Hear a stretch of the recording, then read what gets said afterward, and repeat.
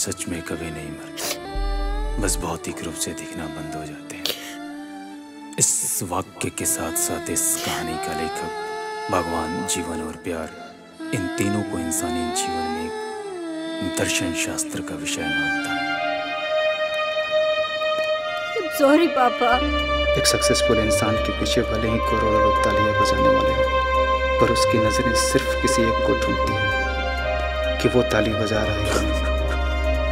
जाके उसकी डायरी के पन्नों में देखिए जाकर। वो खुश हो रहा है कि नहीं? मत मत जलाइए इसको। हटाओ हटाओ। हेलो दोस्तों आप सभी का स्वागत है अपने इस यूट्यूब चैनल के ऊपर। मेरा नाम आशीष वर्मा है। जैसा कि आपने अभी एक मूवी का ट्रेलर देखा ये शॉर्ट मूवी का ट्रेलर है। ये मूवी मेरे पास रिव्यू के लिए आई थी। मिस्टर आलोक ने मुझे रिव्यू के लिए रिक्वेस्ट की थी।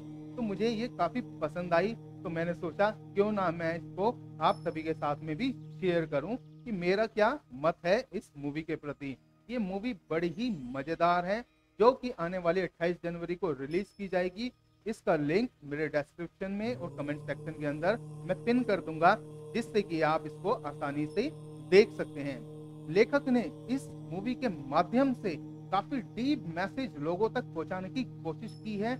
इसमें जो एक्टिंग है वो तो लाजवाब है ही। साथ में जो क्रिएटिव माइंड का कॉन्सेप्ट दर्शाया गया है, वो आपको बेहद ही पसंद आने वाला है। लेखक इसके अंदर परमात्मा को ढूंढ रहा है कि आप कहाँ हो। तो चलिए मैं कुछ बातें अपनी तरफ़ से भी परमात्मा की करूँगा। लेखक तो ढूंढ ही रहा है। साथ में आपको समझना है दोस्तों, परमात्मा आपको बाहर तो मिलने वाला है ही नहीं अगर आप इस प्रकृति में खोजने की कोशिश कर रहे हो तो आपको ध्यान रखना है, तीन चीज़ें अजन्मी हैं जिसके बारे में आप नहीं जान सकते। ये आदि काल से अनंत काल तक है, यानी इसका कोई एंड नहीं है। जैसे कि पहला है प्रकृति। प्रकृति में हम बैठे हैं, इस शरीर को लेकर बैठे हुए हैं।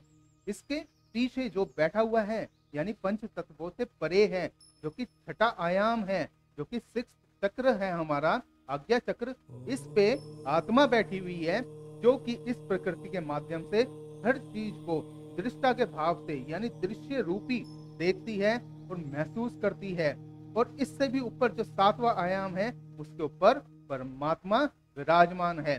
तो आपको ध्यान रखना है, अगर आप प्रकृति में परमात्मा को तलाशने की खोज कर रहे हैं तो आपको वो यहाँ पर नहीं मिलेगा। वो आपको कहाँ मिलेगा?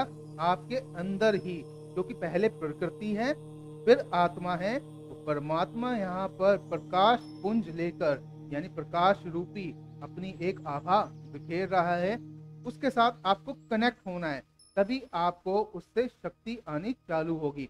लेकिन हम लोग थोड़ा आध्यात्मिक ना रहकर धार्मिक हो जाते हैं, जिसके कारण हमें कुछ भी समझ में नहीं आता तो इसी कारण से ज्ञान मार्ग छोड़कर भक्ति योग में हम शामिल हो जाते हैं।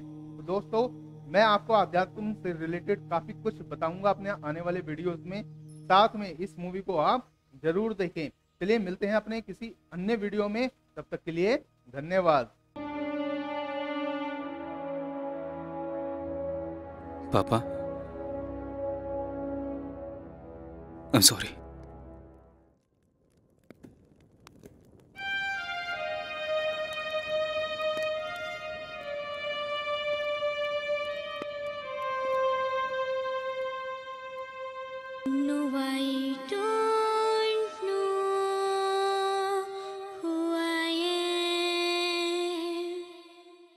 भाई? भाई? भाई! भाई उठो ना! पानी लाके दीजिए ना!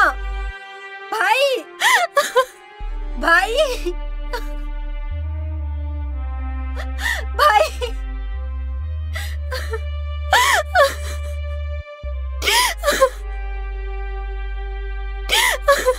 No, we.